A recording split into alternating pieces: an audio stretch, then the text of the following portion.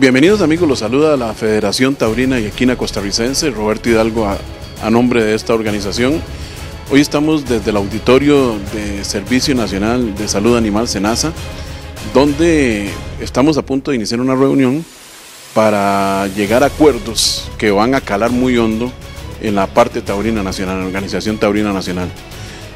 Desde 1989 fue cuando se realizó la primera reunión donde hubo participación de todas las partes para crear un reglamento taurino nacional, el decreto ejecutivo 19.183-GS.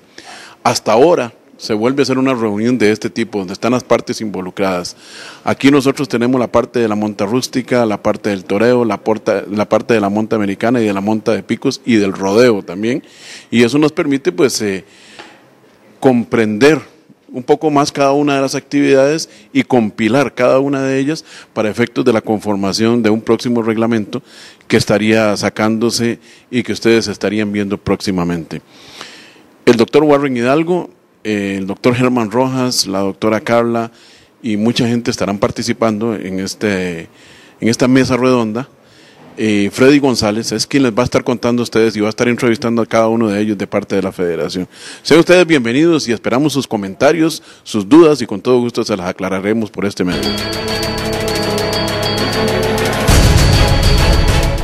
FETEC, Federación Taurina Costarricense, presenta.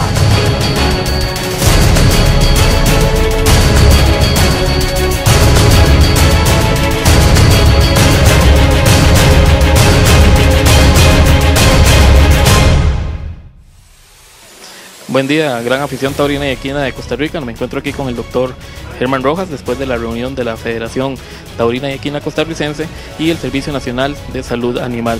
Eh, don Germán, bienvenido al boletín oficial de la Federación. Este, preguntarle, ¿en qué puntos positivos se llegaron a esta reunión? Bueno, muchísimas gracias. En primer lugar, yo quiero eh, felicitar a la Federación.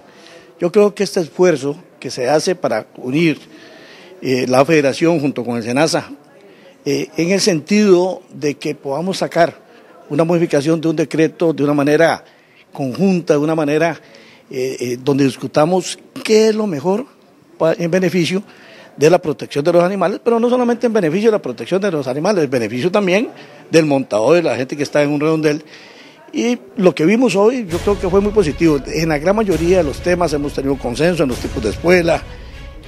Hay algunas dudas que quedan, algunos temitas que quedan para verse próximamente, pero de modo general podemos decir, sin equivocarnos, de que este esfuerzo va a traer grandes beneficios a, toda la, parte taurina, a todas estas actividades que se hacen en todas las comunidades de este país y que a la gente les gusta tanto, pero que requieren tener ciertas regulaciones en, aras de proteger los animales y en aras de que cada día sea un evento más bonito.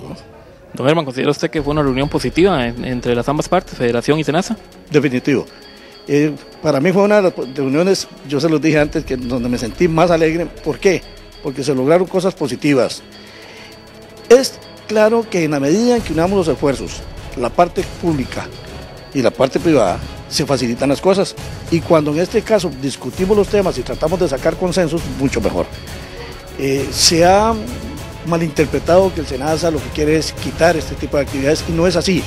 Lo que nosotros queremos en conjunto con la federación, en conjunto con, con toda la gente que participa en este tipo de eventos, es hacerlo de una manera más ordenada, de una manera donde se trate lo menos posible los animales y que yo sé que es la inquietud también de la federación y de esta manera pues se hay estos espectáculos eh, con la gente un poco más tranquila. Hay gente que en algunos momentos molesta por algunas cosas, pero podemos decir, y aquí yo quiero, repito, felicitar a la federación por este gran esfuerzo que están haciendo para que este espectáculo cada día sea mejor.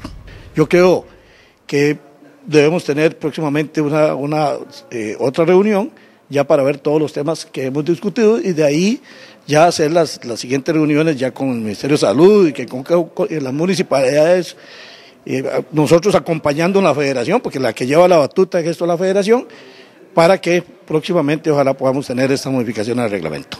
Don Germán, nada más para terminar, ¿en cuál punto cree usted que fue el que, el que se, el que duramos un poquito más, en el que se trabó tal vez un poquito más? Bueno, uno de los temas de discusión es alguno de los temas en cuanto al tamaño de, las escuelas, en algunos casos, eh, y también la manera de, de arrollarlas, etcétera Ahí hubo una discusioncita que todavía quedó algunas, algunas cositas para, para, para mejorar, pero de modo general eh, fue bastante positivo.